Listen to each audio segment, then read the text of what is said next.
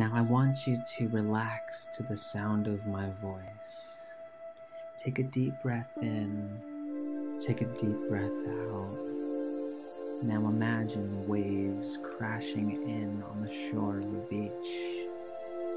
Imagine the waves receding back into the ocean. Now imagine rain as it falls over a rainforest. Imagine the droplets falling off of every branch. Now place yourself inside the mind of a bird as you soar over a land. Everything beneath you is home.